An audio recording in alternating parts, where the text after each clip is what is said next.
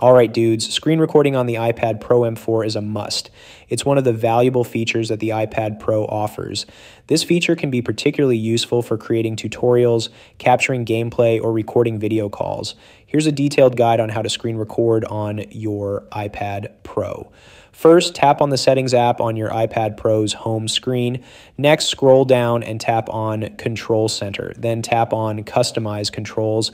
This will show you a list of features you can add to the Control Center. After that, find screen recording in the list and tap the green plus icon next to it. This adds the screen recording button to your control center. Once you have added the screen recording feature to the control center, you can start recording your screen, follow these steps. Swipe down from the top right corner of the screen to open the control center. Tap the screen recording button, which looks like a filled in circle within another circle. After tapping, a countdown of three seconds will appear, giving you time to get ready. While recording, a red bar or red clock will appear at the top of your screen, indicating that recording is in progress. Anyways, I hope this little tip helped you guys out. I'd like to wrap things up playing a little Killer Instinct on the iPad Pro because, well, that's how we do it here. Hope you enjoy it. Tap that like and let's run it. And you got what it takes to be ready.